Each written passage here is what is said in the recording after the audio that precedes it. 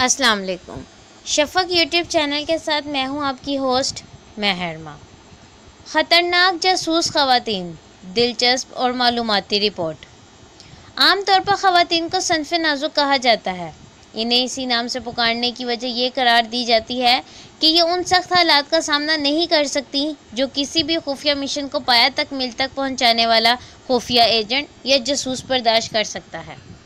لیکن یہ بات بھی ریکارڈ میں موجود ہے کہ جاسوسی کے مشکل کام کو ایک ایڈونچر سمجھنے والی خواتین نے نہ صرف اپنے مقاصد کے حصول اور مشن کو پایا تک مل تک پہنچانے کے لیے جان طور کوشش کی، بلکہ اپنا نام بھی تاریخ میں درج کروانے میں کامیاب رہی۔ ان میں سے تو پانچ نے اپنے مشن کی راہ میں رکاوٹ بننے والے افراد کو قتل کرنے سے بھی گریز نہیں کیا اور بعد ازاں پکڑے جانے پر سخت سزاؤں کو ہنس کر قبول کیا۔ آج ہم اپنے قارئین کو تاریخ کی ایک ایسی ہی نڈر خاتون سے متعارف کروانے جا رہے ہیں۔ نور النساء برطانیہ کی قابل فخر جاسوس۔ نور النساء برطانوی خفیہ جاسوس تھیں، جنہوں نے دوسری جنگ عظیم کے دوران برطانیہ کے لیے جاسوسی کی۔ برطانیہ کے اسپیشل آپریشنز ایگزیکٹو کے طور پر تربیت یافتہ نور عنایت اللہ خان دوسری جنگ عظیم کے دوران فرانس کے نازی دائرہ اختیار میں جانے والی پہلی خاتون وائرس آپریٹر تھیں۔ وہ دوسری جنگ عظیم کے دوران فرانس میں ایک خفیہ مہم کے تحت نرس کا کام کرتی تھی جرمنی کی طرف سے گرفتار کیے جانے کے بعد دس ماہ تک انہیں شدید تشدد کا نشانہ بنایا گیا اور تشویش کی گئی، لیکن پوچھ گچھ کرنے والی ناز، نازی جرمنی کی خفیہ پولیس گسٹاپو اس سے کوئی بھی راز اگلوانے میں ناکام رہی۔ آخرکار انہیں گولی مار کر شہید کر دیا گیا۔ نور عنایت خان کی قربانی اور جرت کی کہانی برطانیہ اور فرانس میں آج بھی مقبول ہے۔ ان کی خدمات کے اعتراف میں انہیں برطانیہ کے سب سے بڑے شہری اعزاز جارج کراس سے نوازا گیا۔ ان کی یاد میں لندن کے گورڈن اسکوائر میں یادگار بنائی گئی۔ جو انگلینڈ میں کسی مسلمان کے لیے وقف اور کسی ایشیائی خواتین کے لیے اعزاز میں پہلی یادگار ہے۔ نور عنایت یکم جنوری انیس سو چودہ کو ماسکو، روس میں پیدا ہوئیں ان کا پورا نام نور النساء عنایت خان تھا۔ وہ چار بہن بھائیوں میں سب سے بڑی تھیں۔ نور النساء کے والد عنایت خان اٹھارہویں صدی میں سلطنت خدا داد میں سو ریاست کے حکمران ٹیپو سلطان کے پرپوتے تھے۔ وہ ایک صوفی مشن انسان تھے۔ عدم تشدد کے قائل اور عرفانہ موسیقی کے شدائی تھے۔ انہوں نے بڑے صغیر کے تصوف کو مغربی ممالک تک پہنچایا۔ وہ خاندان کے لیے پہلے لندن اور پھر پیرس میں بس گئے تھے، جبکہ نور النساء کی ماں ایک نو مسلم امریکی خاتون تھی۔ نور کی دلچسپی بھی اس کے والد کی طرح مغربی ممالک میں اپنے فن کو آگے بڑھانے کی تھی۔ نور موسیقار بھی تھیں اور انہیں ستار بچانے کا شوق بھی تھا۔ انہوں نے بچوں کے لیے کہانیاں بھی لکھیں اور کہانیوں پر ان کی ایک کتاب بھی چھپی تھی۔ پہلی جنگ عظیم کے فوراً بعد ان کا خاندان ماسکو سے لندن، انگلستان آ گیا، جہاں نور کا بچپن گزرا۔ نوٹنگ ہل میں واقع ایک نرسری اسکول میں داخلے کے ساتھ ان کی تعلیم شروع ہوئی۔ انیس سو بیس میں وہ فرانس چلی گئیں، جہاں وہ پیرس کے قریب سیریسنس کے ایک گھر میں اپنے خاندان کے ساتھ رہنے لگیں، جو انہیں صوفی تحریک کے ایک پیروکار کی طرف سے تحفے میں ملا تھا۔ نور النساء کا بچپن پیرس کے نواں میں گزرا۔ وہ اپنے خیالات میں گم رہنے والی اور تلسمی کہانیاں پڑھنے والی ایک بچی تھی۔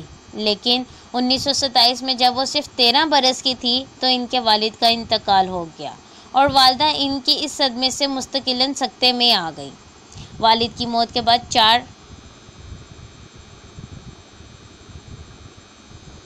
جی والد کی موت کے بعد چار بچوں میں سب سے بڑی ہونے کے سبب سارے خاندان کی ذمہ داری نور النساء کے ناتواں کندھوں پر آن پڑی۔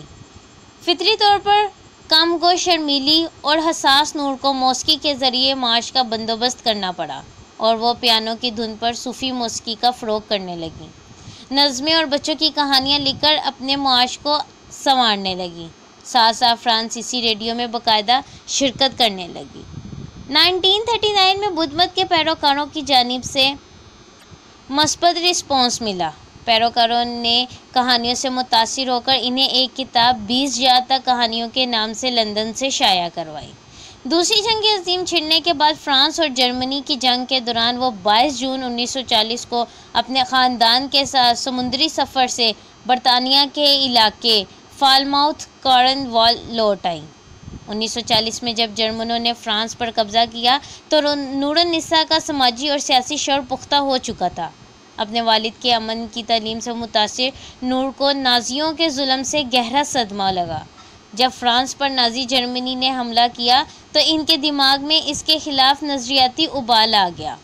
وہ سمجھتی تھی کہ اب والد صاحب کی طرح محض عدم تشدد پر یقین رکھنے اور صوفیانہ موسیقی میں گم رہنے سے کام نہیں چلے گا۔ بلکہ حالات براہ راست عملی اقدام کا تقاضا کر رہے ہیں۔ انہوں نے اپنے بھائی ولایت کے ساتھ مل کر نازی ظلم کو کچلنے کا فیصلہ کیا۔ نور کو بچپن ہی سے ریڈیو پر بچوں کو کہانی سنانے کا شوق تھا۔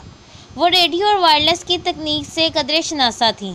چنانچہ جرمنوں کے خلاف تحریک مزاحمت میں اس نے خفیہ پیغام رسانی کا میدان چنا۔ انیس سو انیس سو چالیس کو وہ خواتین کے ضمنی air force W double A F میں class two aircraft officer کے طور پر شامل ہوئیں، جہاں انہیں وائرلیس آپریٹر کے طور پر تربیت کے لیے بھیجا گیا۔ یہ بات قابل توجہ ہے کہ نور عنایت خان جرمنوں کے خلاف کام کرنے والی اولین خاتون ریڈیو آپریٹر تھیں۔ جون نائنٹین فورٹی ون میں انہوں نے ان پر ریف بمبار کمان کے بمبار تربیت اسکول میں کمیشن کے سامنے مسلح فورس آفیسر کے لیے درخواست دی، جہاں انہیں اسسٹنٹ سیکشن آفس کے طور پر پروموشن حاصل ہوئی۔ وہ اپنے تین خفیہ نام بالترتیب، نور بیکر میڈلین اور جین مری رینیا کے طور پر جانی جاتی ہیں۔ انہوں نے چھبیس برس کی عمر میں خود کو تحریک مزاحمت کے لیے وقف کر دیا تھا۔ اور انتیس برس کی عمر میں جرمنوں کے ہاتھوں ایک اذیت ناک موت سے دو چار ہوئیں۔ بعد ازاں نور کو اسپیشل آپریشنز ایکٹیویٹیز اور ایگزیکٹو کے طور پر ایف فرانس کے سیکشن میں شمولیت کے لیے بھرتی کیا گیا اور فروری نائنٹین فورٹی تھری میں انہیں فضائیہ میں تعینات کیا گیا۔ ان کے اعلیٰ افسران میں خفیہ جنگ کے لیے ان کے بارے میں مخلوط رائے بنی اور یہ محسوس کیا گیا کہ ابھی ان کی تربیت نامکمل ہے۔ لیکن فرانسیسی زبان کی اچھی معلومات اور بولنے کی صلاحیت کے باعث انہوں نے special operations special operations group کی توجہ حاصل کر لی، جس کے نتیجے میں انہیں وائرلیس آپریشن میں تجربہ کار ایجنٹوں کے زمرے میں ایک ضروری امیدوار کے طور پر پیش کیا گیا۔ پھر وہ بطور جاسوس کام کرنے کے لیے تیار کی گئیں اور جون نائنٹین فورٹی تھری میں انہیں جاسوسی کے لیے ریڈیو آپریٹر بنا کر فرانس بھیجا گیا۔ ان کا کوڈ نام میڈیلین تھا۔ وہ بھیس بدل کر مختلف جگہوں سے پیغام بھیجتی رہیں۔ بعد ازاں ایک نرس کے طور پر فزیشین نیٹ ورک میں شامل ہو گئیں، جس کے بعد نیٹ ورک سے منسلک ریڈیو آپریٹرز کو جرمنی کی سیکیورٹی سروس کی طرف سے انہیں گرفتار کر لیا گیا۔ وہ دوسری جنگ عظیم میں پہلی ایشین خفیہ ایجنٹ تھیں۔ نور النساء دوسری جنگ عظیم کے دوران وانسٹن چرچل کے قابل اعتماد لوگوں میں سے ایک تھیں انہیں خفیہ ایجنٹ بنا کر نازیوں کے قبضے والے فرانس بھیجا گیا تھا۔ نور نے پیرس میں تین ماہ سے زیادہ عرصے تک کامیابی سے اپنا خفیہ نیٹ ورک چلایا اور نازیوں کی معلومات برطانیہ تک پہنچاتی رہیں لیکن ایک کامریڈ گرل جو ان سے حسد کرتی تھی، اس کی مخبری پر وہ پکڑی گئی، جس پر پیرس میں تیرہ اکتوبر نائنٹین فورٹی تھری کو انہیں جاسوسی کرنے کے الزام میں گرفتار کیا گیا۔ اس دوران خطرناک قیدی کے طور پر ان کے ساتھ تشدد امیز سلوک کیا جاتا رہا۔ تاہم، اس دوران انہوں نے دو بار جیل سے فرار ہونے کی بھی ناکام کوشش کی۔ گیارہ ستمبر انیس سو چوالیس کو انہیں اور ان کے تین ساتھیوں کو جرمنی کے ڈاک ڈاؤ کیمپ لے جایا گیا، جہاں تیرہ ستمبر انیس سو چوالیس کی صبح چاروں کے سر پر گولی مارنے کا حکم سنایا گیا۔ اگرچہ سب سے پہلے نور کو چھوڑ کر ان تینوں ساتھیوں کے سر پر گولی مار کر قتل کر دیا گیا، تاکہ نور کو ڈرایا جائے اور وہ جن معلومات کو جمع کرنے کے لیے برطانیہ سے آئی تھیں وہ بتا دے، لیکن انہوں نے کچھ نہیں بتایا۔ بلاخر ان کے سر پر بھی گولی مار دی گئی اور انہیں قتل کر دیا گیا۔ اس کے بعد سب کو جلا کر ایک خفیہ ڈچ جیل میں دفن کر دیا گیا۔ جو بعد میں نائنٹین ففٹی ایٹ میں دریافت ہوا۔ موت کے وقت ان کی عمر تیس سال تھی۔ جب نور کو گولی ماری گئی تو ان کے ہونٹوں پر آخری لفظ آزادی تھا۔ برطانیہ کی پوسٹل سروس رائل مل کی طرف سے قابل ذکر لوگوں کی سیریز میں نور کی یاد میں ڈاک ٹکٹ جاری کیے گئے۔ لندن میں ان کی تانبے کا مجسمہ بنایا گیا۔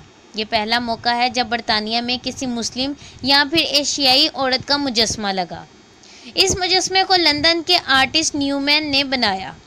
گورڈن اسکوائر گارڈن میں اس مقام کے نزدیک مجسمہ نصب کیا گیا، جہاں وہ بچپن میں رہا کرتی تھی۔ مزید جسوساؤں کے بارے میں معلومات حاصل کرنے کے لیے ہمارے چینل کو لائک اور سبسکرائب کرنا مت بھولیں۔ شکریہ۔